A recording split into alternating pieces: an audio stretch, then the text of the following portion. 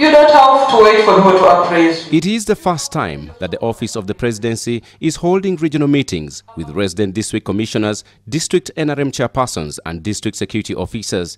Today, the Minister of the Presidency, Esther Mbayo, met with the team from Acholi and Lango sub-regions in Gulu. Why we've opted to do it regional is that the problems pertaining to northern are not the problems pertaining to eastern, are not the problems pertaining to western. Each region has its own problems. So the strategy is there to encounter that, and not the strategies here.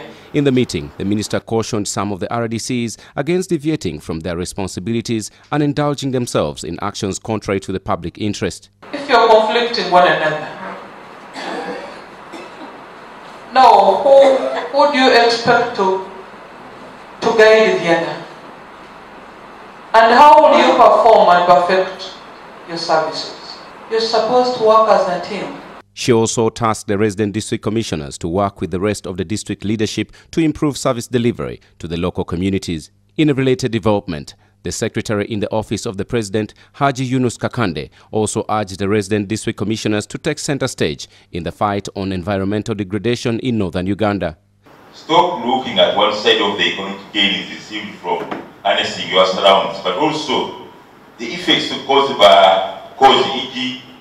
this region is engaged in charcoal burning, but the damage caused to the environment is insurmountable.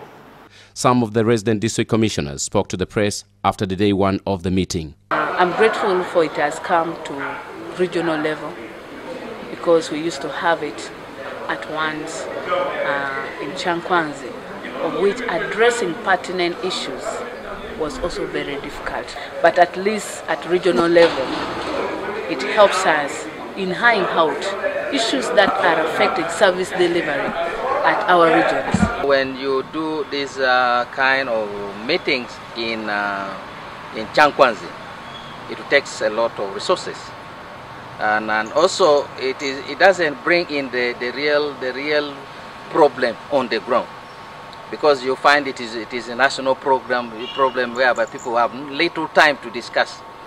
Nelson Omoya, NTV.